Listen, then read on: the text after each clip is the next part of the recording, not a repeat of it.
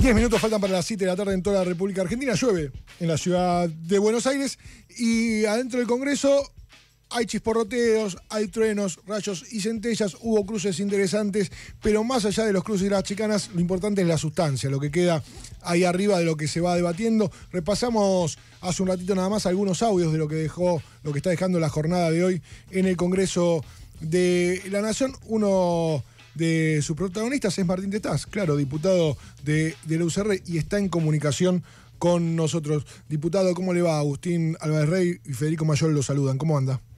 ¿Qué tal, chicos? Buenas tardes. Buenas tardes. Bueno, eh, diputado, lo primero que le quería preguntar, eh, voy a hacer como si fuera periodista deportivo y voy a decir, ¿sensaciones? ¿Sensaciones? bueno, hay, yo creo que hay una, una discusión primero muy interesante, bastante profunda que se está produciendo sobre el proyecto de ley ómnibus y que está permitiendo por lo, por, lo menos eh, dejar claras algunas posiciones. Ya está claro que el kirchnerismo se va a oponer a todo aunque le, aunque le ofrezcan, aunque venga Papá Noel con regalo, tampoco va a aceptarlo. Y está claro que en general Juntos por el Cambio tiene una voluntad de colaborar más allá de algunas diferencias claras que está manteniendo respecto a algunos puntos del DNU. Por ejemplo, en general hay un rechazo de Juntos por el Cambio a cualquier aumento de impuestos, también un rechazo a cualquier eh, modificación de la fórmula de jubilaciones que ajuste a los jubilados, también un rechazo de darle facultades extraordinarias al presidente eh, que, el mismo tipo de facultades que le rechazamos a Alberto Fernández tampoco se la estaríamos dando a mi ley. Entonces, la línea de, de Juntos por el Cambio es una línea coherente con su, con su agenda electoral. Ahora, Tetás, en el marco de me quiero detener en las facultades puntualmente, porque había una intención del gobierno, por lo menos eso ha trascendido y han hecho saber desde el Ejecutivo, bueno, de negociar, si bien no en todas, eh, en todo el espectro que había pedido, ¿no? Que iba desde lo económico hasta lo social, pasando por lo previsional y demás, sino algunas facultades determinadas y por tiempo determinado. ¿Eso tampoco? Bueno, eh, primero, como dicen, eh, en, la pista se ven los pingos, ¿no? Hay que ver cuando finalmente aparezcan los dictámenes el dictamen del oficialismo si efectivamente incluye esa modificación o no. Eh, yo también tengo esa versión, pero no la tengo confirmada y no la tengo obviamente porque nadie lo tiene todavía el dictamen del oficialismo. Si efectivamente el oficialismo acepta que la magnitud de las extensiones en vez de ser por cuatro años sean de un año y sean en menos de las, de las variables y de las áreas que estaba pidiendo originariamente el Ejecutivo, bueno, obviamente nosotros el mismo, las mismas eh, facultades que en su momento le dimos a Macri no se las podemos negar ahora a ley. Entonces ahí, va, ahí, ahí se acerca el acuerdo. Lo mismo va a pasar en todos los aspectos. Si el oficialismo está dispuesto a, ceder en algunos aspectos, seguramente el, acuerdo va a estar mucho más cerca. La voluntad de cooperar con el gobierno está. Ahora, eh, en ese marco, diputado, le quiero preguntar puntualmente con qué versión me tengo que quedar yo. ¿Con Adorni diciendo no se negocia absolutamente nada, no se cambian puntos centrales? o con la versión de Puertas Adentro que dice sí, vamos a negociar. ¿A quién le tengo que creer? ¿A Dorni o a lo que está pasando en el Congreso?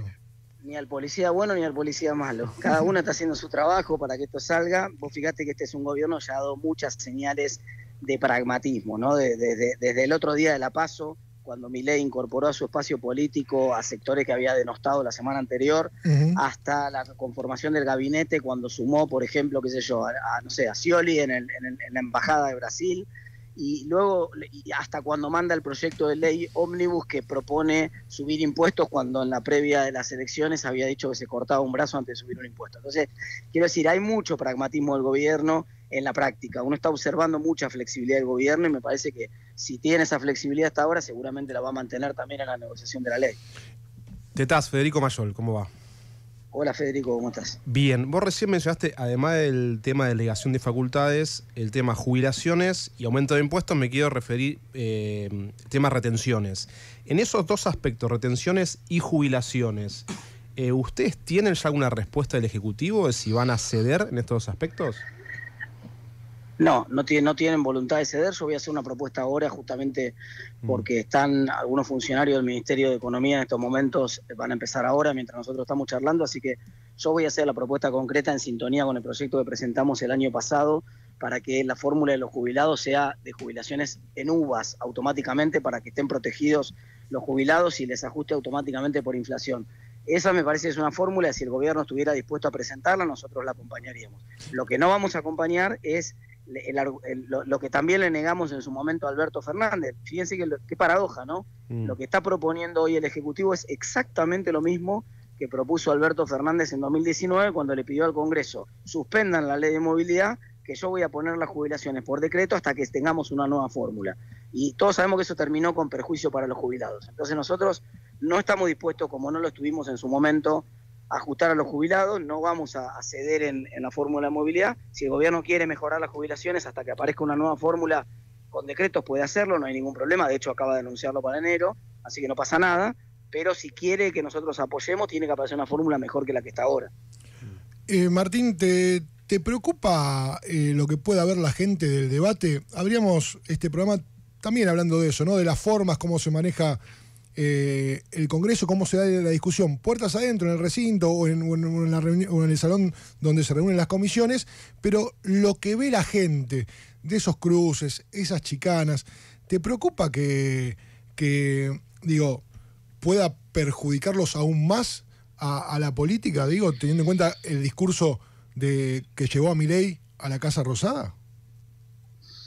No, no, en absoluto. Lo que, lo que creo es que lo que le preocupa hoy a la gente no es eh, si nosotros venimos de pantalones cortos o, o si, o si nos, chicaneamos en las comisiones, sino que lo que le preocupa a la gente es el 30% de inflación que hay en el supermercado, digamos, y, y que eso no depende de que nosotros aprobemos o una ley, sino de que el gobierno tenga un plan de estabilización pronto, logre bajar la inflación pronto y logre estabilizar el dólar. Si eso el gobierno lo logra, la sociedad va a estar conforme y, va, a apoyar al gobierno también. Y, si no lo logra, se acabará el apoyo que tiene la sociedad hoy o, la, luna de miel que tiene la sociedad con el gobierno. No creo que, a la gente le importen mucho las formas de, la discusión parlamentaria.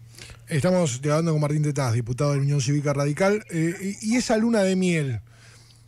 ¿Cuál es el vencimiento? Digo, vos que caminás, que sos dirigente, que eh, saliste a pedir votos, que te reunís con, con, la gente, que la gente te reconoce en la calle y, te habla. Digo, ¿cuál es tu percepción de cuánto es el tiempo que tiene Milei para empezar a mostrar resultados? Mirá, es sector a sector, ¿no? No hay una sola, un solo público del otro lado. Cuando vos ves jubilados, por ejemplo, y hablas con los jubilados, ya se terminó la luna de miel para, los jubilados. Los jubilados ya sufrieron una caída de su capacidad adquisitiva de cerca del, 15% en el primer mes y, y, no, ven, no ven luz al final del túnel, no ven ningún anuncio del gobierno tendiente a mejorarlo. Si vos sos trabajador formal registrado, bueno, ves que tu gremio está tratando de apurar una negociación salarial ves muchos gremios que ya las han conseguido para un refuerzo en diciembre, otros que están hablando de negociaciones salariales ya abriéndolas en enero o en febrero y hablando de porcentajes importantes. Entonces tenés alguna, digamos, tranquilidad de que tenés de, que viene, de que viene ayuda en el camino. Pero si vos sos trabajador informal, por ejemplo, no, entonces también se te acaba la luna de miel más rápido. Entonces yo creo que, no obstante eso, hay, hay, una secuencia, ¿no? Diciembre siempre es un mes donde vos de todas maneras consumís, de todas maneras vienen las fiestas, igual tuviste el aguinaldo, aunque los precios no tuvieran acompañado, enero ya no viene el aguinaldo, tenés que pagar la tarjeta que reventaste en diciembre, enero ya es un mes duro, febrero ni te cuento, y marzo cuando empiezan las clases vuelve a toda la normalidad, ¿no? Y vos tenés que pagarle el colegio a los chicos o la canasta escolar y ahí enfrentás realmente las restricciones. Me parece que marzo va a ser un mes clave donde ya el gobierno tiene que estar mostrando algún plan de estabilización claro que muestre a la gente señales de que está bajando la inflación. Ahora, Martín, en ese marco que, describís, cuando escuchás a Dorni echarle la culpa al Congreso de que no trabaja por la inestabilidad económica o por la subida del dólar, ¿le das crédito? ¿Lo entendés como un salvavidas que, tira para que las miradas no vayan hacia el Ejecutivo? No, primero que el Congreso está trabajando, así que es como una contradicción flagrante eso, pero segundo es un argumento kirchnerista ese. Eh, la inflación es siempre y en todo momento un fenómeno monetario. O sea que si, si, vos perdés, porque no es que sube el dólar, en realidad se está cayendo el peso. Si el peso pierde valor es porque, es porque la política monetaria del gobierno todavía no encontró un plan de estabilización, no lo anunció, no hace pie, todos esperamos que eso se anuncie pronto, pero eh, ahora hacer un argumento de que la inflación tiene que ver con las declaraciones del Congreso, con que el Congreso tarde una semana más o una semana menos en aprobar una ley que no tiene ninguna disposición monetaria, porque no hay nada monetario en la ley. Entonces, ¿qué tiene que ver?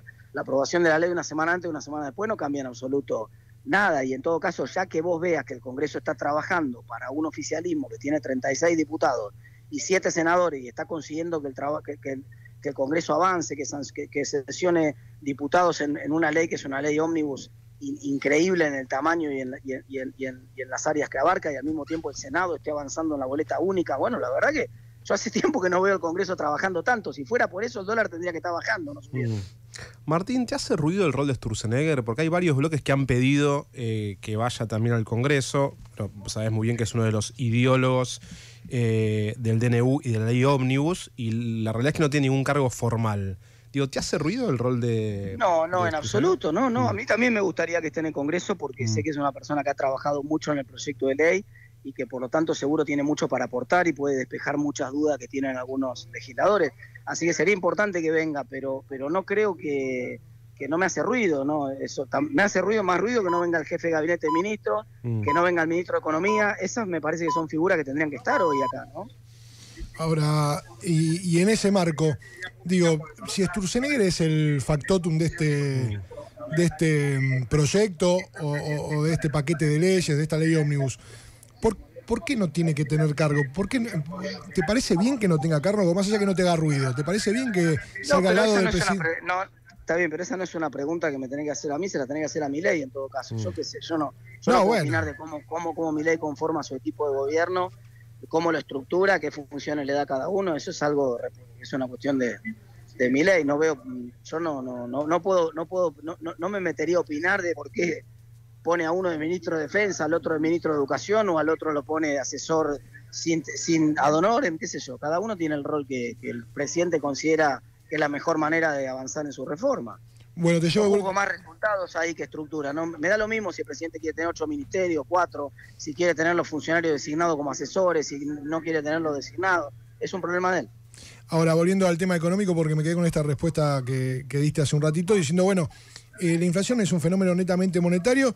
Lo que primero uno induce que Milei sigue, el gobierno de Milei sigue emitiendo tal cual emitía el gobierno de Alberto Fernández. Esto está confirmado, están los datos para a la vista. Y no tiene nada que ver eh, eh, el ruido político con, con los desbarajustes del dólar blue, de los dólares financieros.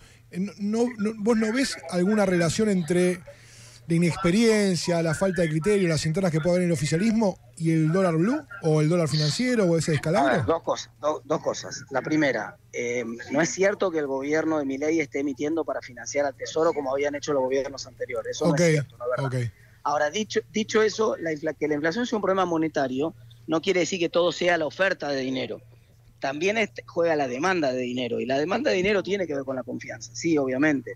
Más confianza en el gobierno, seguramente hay más demanda de dinero y entonces la inflación tiende a bajar. Menos confianza en el gobierno, seguramente hay menos demanda de dinero y la inflación tiende a subir. Lo que yo veo que ocurre es que cuando vos haces una devaluación de la magnitud que hizo el gobierno, que seguramente no tenía mucha alternativa, el propio el propio Rubinstein, que era el viceministro de Massa, dijo que ellos hubieran hecho una cosa parecida, porque realmente no había dólares. Ahora, si vos lo haces sin anunciar un plan de estabilización en simultáneo, lo que, lo que termina ocurriendo, que lo que está pasando ahora, es que el salto del dólar se usa como, como referencia. Entonces, yo tengo que formar el precio de un bien importado, está bien que mire el precio del dólar, pero si yo tengo que formar el precio de un corte pelo o del, o, de, o del té que te estoy sirviendo en un, cuando vos te sentás en, un, en el bar de la esquina, entonces no tiene lógica que yo mire el precio del dólar. Pero si no hay ninguna referencia en la economía, porque no hay un plan de estabilización, la única referencia que tengo es el precio del dólar. Entonces todos corremos atrás del precio del dólar y la inflación se acelera innecesariamente, ¿me entendés? Eso sí es parte de la responsabilidad del propio gobierno en no tener rápido un plan de estabilización. Hubo muchos rumores, Martín, en los últimos días respecto de la posibilidad de una nueva devaluación de aquí a marzo. ¿Pensás que, eh, viendo las variables económicas y analizando cómo, cómo viene la economía, pensás que el gobierno va a necesitar otra vez devaluar? Si la inflación sigue al ritmo que vino en diciembre y no se frena, claro, lógicamente. Vos pensás que con 30% de inflación, cualquier cosa que valía 800 en enero, fuera el dólar o fuera medio kilo de pan, ahora vale 3 por 8, 24, ahora vale 1040. Claro. ¿Entendés? Tiene que valer 1040. Cualquier cosa que valía 1000, que era el dólar paralelo, con 30% de inflación, tiene que valer 1300. ¿Me entendés? Entonces, en la medida que vos vas teniendo más inflación, eh, obviamente eso te va a aumentar la brecha, es parte de la presión que ya estás observando que empieza a ocurrir y cuando vos, se te empieza a disparar la brecha, bueno, eso acelera la presión por una devaluación, así que vos no podés tener inflación indefinida y el dólar seguirlo, dejarlo clavado en 800 porque dentro de 3 o 4 meses tenés el mismo problema que antes. Martín, ¿cómo andás? Diego de te saluda. Bueno, mañana Dale, ¿cómo vamos va? a conocer el número de la inflación de diciembre.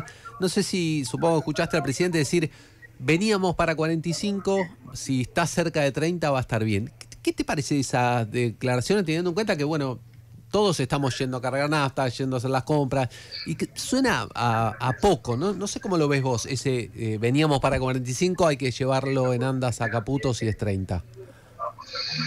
A mí me parece que la inflación del mes de diciembre tiene poco que ver con el gobierno. Por lo tanto, ni hay que ponerlo en anda ni hay que condenarlo al gobierno, porque 20 días del mes de diciembre, cuando, cuando como te decía, buena parte de la corrección cambiar y de todos los problemas que hubo, las hubiera tenido que hacer cualquier otro gobierno igual, porque eran eh, 100% herencia. Entonces, yo no, no, no- para mí, lo que sí me preocupa, que sí es, es falta de tener un plan de estabilización, es un dato que también se va a conocer mañana, que es cuál fue la inflación en servicios porque los servicios no deberían depender del precio del dólar. Entonces, si vos tenés que los servicios aumentaron mucho y aumentaron mucho más que los meses anteriores, eso quiere decir, eso, eso es un problema de praxis de la administración de la devaluación. Entonces, eso, eso sí es culpa de la falta de un plan de estabilización y entonces me preocupa un poco más que el número final de si la, la inflación total fue 25, 28 o 30.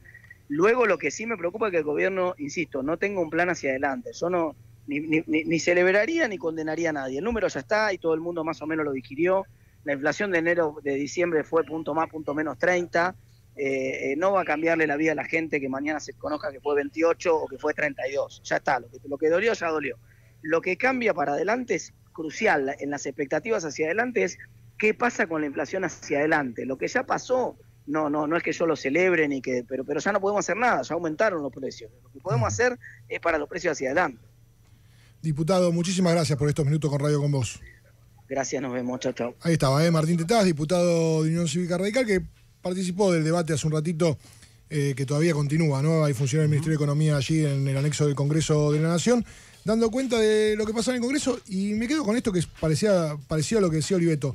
Nada tiene que ver lo que sucede en el Congreso, absolutamente nada, con el precio del dólar, con que te suban los alimentos. Digamos, va por dos cuestiones totalmente distintas. Y también importante esto, bueno, la UCR está dispuesta a acompañar Voluntad de cooperar, dijo. voluntad de cooperar. Eh, usted entiéndale como quiera, pero claro, van a cosas que sí y cosas que no. Claro, el numerito de la libertad avanza en el Congreso es chico, va a necesitar acordar con el UCR y con el bloque de Pichetto. Ahí intentará construir su mayoría para llegar a los 129 votos necesarios para que avance esta norma. Seis minutos pasaron de las 7 de la tarde. ¿Querés mensajes, Max? ¿O querés tanda? ¿Tanda? Bueno, tanda. 899 Radio con Voz. Pica, pica, pica del